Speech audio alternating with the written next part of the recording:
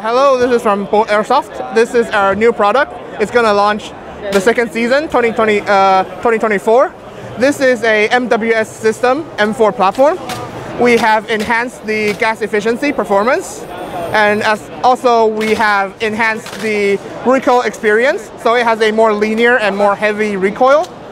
Also for the for, the gas efficiency it is capable of running full auto at like 5 degrees Celsius. So here is a demo.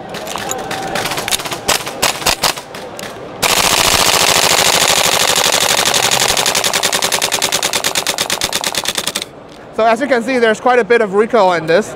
And also all of the all of the accessory is is one-to-one -one mil spec. So all of your accessory would be able to fit on here with no problem. This is our SCAR L coming out next year. Uh, this is our full-size SCAR L after we introduced the SCAR SC. We have fully licensed from uh, Cybergun. This will be introduced some, some, sometime in 2024.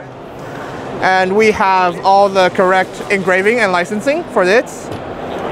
And also, coming out next year is the, the SPC-9 from B&T Air. And this one we also have uh, acquired the licensing already. So this will be also a electric blowback, uh, a electric blowback gun. It will have our BRSS system and it will have a new type of magazine as well as uh, it will have uh, strengthened internal. So you can, uh, you can expect it to have a good amount of recoil. And it, it is more flexible than the current uh, submachine guns because it has full rails uh, and full M-LOK rails and also a AR stock for whatever stock you may want to put on. Also two-sided charging handle, ambidextrous fire control, and ambidextrous release, as well as ambidextrous uh, magazine release. Now,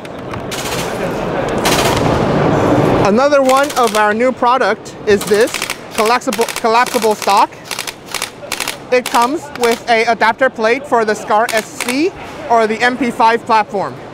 So this foldable stock is made from full metal construction and it's, it is oh it is quite very solid. As you can see there's hardly any flex.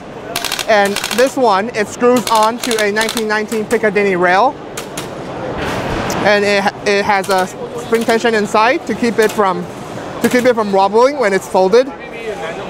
There is also a version for the MP5 system.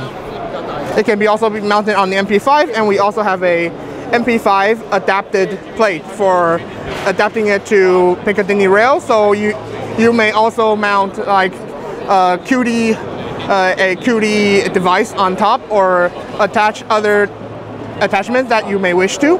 This is our AK-74SMN, a slightly modernized version. As you can see, it has the rail adapter for the, uh, the Russian rail mounting system. Also, the dust cover has the, uh, the corrected ribs. Also, it has a foldable collapsing stock that secures into place, like just like all the other ones. And all the other internals are, as usual, our BRSS system, made to be durable.